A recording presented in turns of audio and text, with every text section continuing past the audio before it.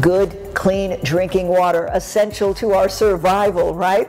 Hi, I'm Janet Zappala. Welcome to Good Food Matters. Today we are talking all about hydration and how important good, clean water is, and also fruits and vegetables that have a lot of good water content in them, including watercress, watermelon, leafy greens like lettuce, tomatoes, apples if you want a snack to hydrate, bell peppers, cucumbers, obviously celery is made up mostly of water delicious treats that are going to serve you well when it comes to your health. So today, in keeping with all of this, I'll be making a delicious cucumber and tomato salad with a nice vinaigrette, a tzatziki sauce with, yeah, cucumber, and of course, a nice yogurt infused with garlic and olive oil and fresh herbs like mint. Doesn't that sound delicious? I've got these great recipes coming up, but first, I also have a special guest on board today here on Good Food Matters. He's all about Drink good, clean, healthy water. It'll keep you going for years. All right, let's go to him and find out more. Roger Rynyak from Life Source Water. Obviously, we do have to drink really good, clean water every single day because we can't survive without clean water. Tell the folks why Life Source is so important for people to know about when it comes to healthy drinking water. Well, the fact is, we get out the contaminants like the chlorine and chloramines, pesticides, herbicides, sediment, and things of that nature so you can drink water from every spout in the house your showers, laundry, dishwasher, coffee, tea, cooking, everything, because we leave the healthy minerals. And you should get up to 20% of your daily mineral intake from the water that you drink. And you'll get that virtually from every tap. So you don't need bottled water. Tell us about this whole house water filtering system, exactly how it works. So basically, it works off the main line. Every house has a main shutoff that shuts off the water for the entire home.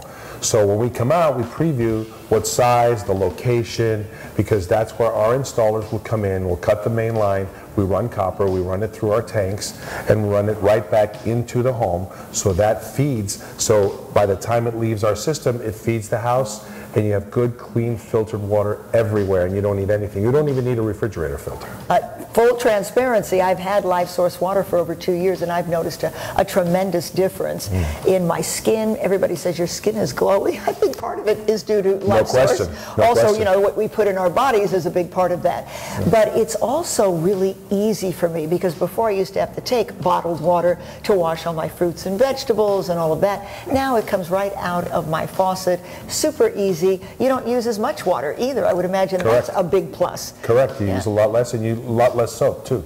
You need 50 to 75% less soap in your showers, in your dishwasher, in your laundry, because the water's so clean coming in, you don't need a whole lot. People have different living situations. Some people mm-hmm. are in an apartment. They're obviously not going to get a whole big water filtering system. That's not what they own. They don't want to make that investment, mm-hmm. but you can do something a lot less for them to accommodate. Absolutely, and we can also do the whole building, and no salt.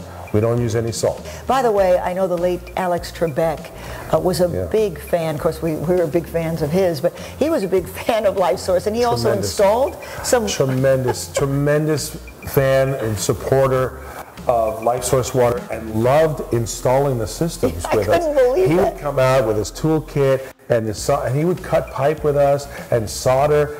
And we would go, Alex, we got this. Don't worry about it. But he's like, and his wife actually said, oh, he would he would do this. If he could do this all day, he would do this instead of Jeopardy.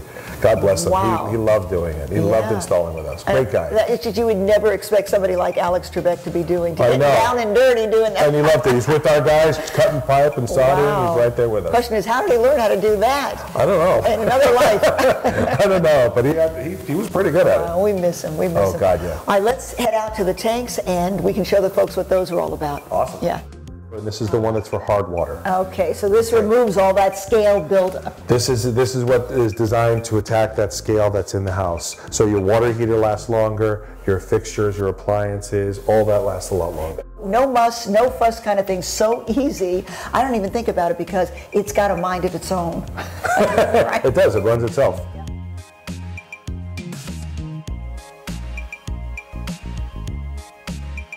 Because you have to tell folks about Life Source, where they can reach you, how they can get more information. The best way and the easiest way is go to lifesourcewater.com.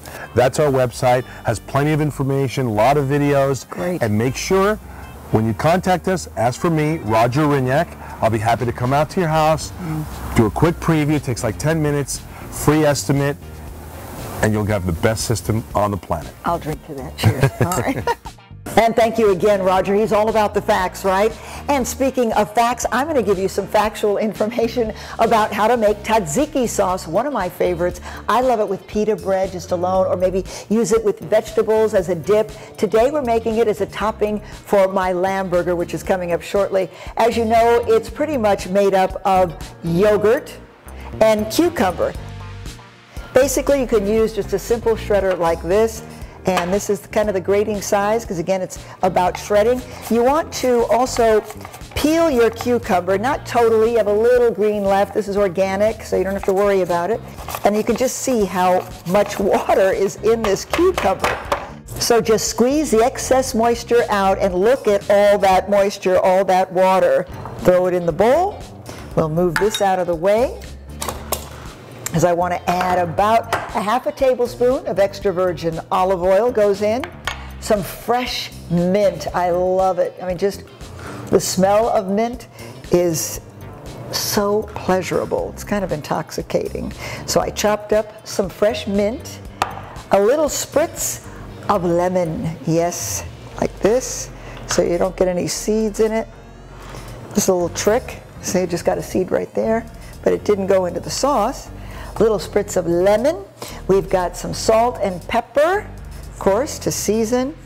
Grab some pita bread and just stuff it or dip it, whatever it is that you like. And I'll say you, you've got a real treat on your hands. It's good for you. Again, this is non-fat Greek yogurt, fresh organic cucumbers, extra virgin olive oil, some lemon juice, a little bit of garlic, which by the way, ah, I almost forgot the garlic. Hang on a second here because that is super important for this recipe. You have to have a little bit of my herbal wonder drug, as I like to call it, just like that.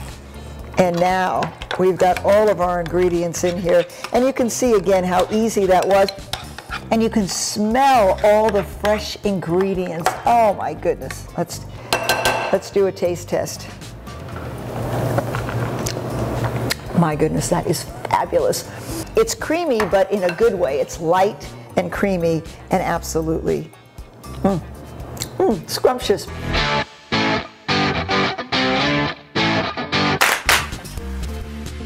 All right, tzatziki sauce is sort of marinating in the fridge, and we are now going to embark on this delicious cucumber tomato salad. It's all fresh ingredients. I'm chopping up some flat leaf Italian parsley to go in there. So we've got some fresh herbs. You can use either parsley. You could use the curly kind too if you don't have the flat leaf. Also, I use some dried Italian herbs too. So you want to just take a few in your hand like this and then make sure you squeeze because you're getting all the important nutritious essential oils out that way and more taste. So we've got that. I always eyeball the olive oil. I'm going with about a little less than a third of a cup we'll start with. Go easy, you can always add more. It's like when you're getting your hair cut. If you cut too much off, you can't put it back, so just take it in stages. I do that with everything. And a splash of red wine vinegar, just like that. A little bit of salt and pepper. I mean, pretty much nothing is as good as it can be without your salt and pepper. So there you go. And that's it, folks. As easy as anything you can possibly do in life is making this delicious Italian-inspired tomato and cucumber salad. Again, with the fresh parsley. You've got so many nutrients in here. And you've got a lot of hydration, as I said earlier, with the tomatoes and the cucumbers. You're going to do your body a really big favor. So we've got the salad, we've got the tzatziki sauce, as I said, in the fridge, and now it's all about the lamb burger.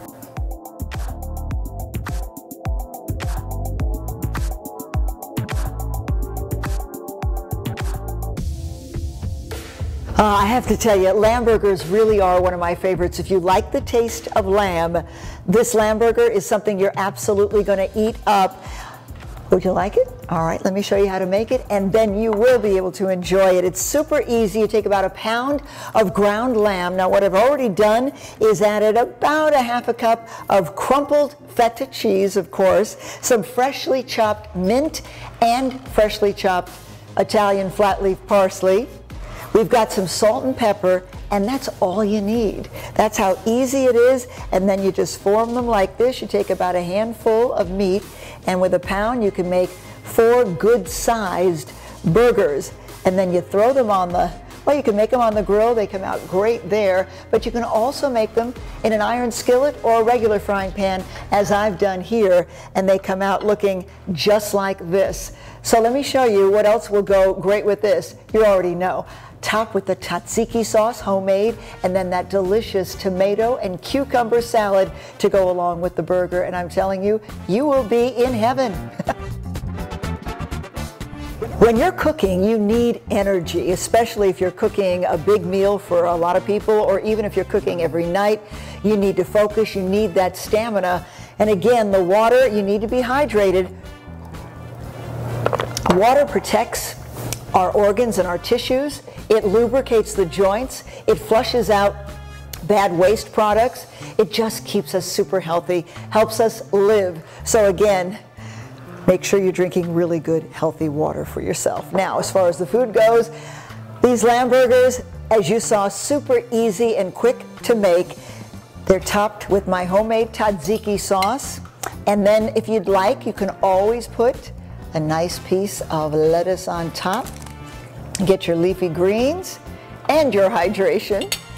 And then of course you have to have this cucumber, tomato, and I also added some red onion. Some people don't care for the onion, you don't have to have it, but I added it in because I happen to love the red onion. So there you go, a delicious, nutritious meal that I think everybody's going to love unless you don't eat meat. Then how about a salmon burger, anybody? I'll make those next time. In the meantime, thank you so much for joining me. I won't be able to say too much more because I'm going to dig in, but I'll have the recipes on my website, janetzappala.com. This is Good Food Matters. Thank you for joining me. I'll see you next time.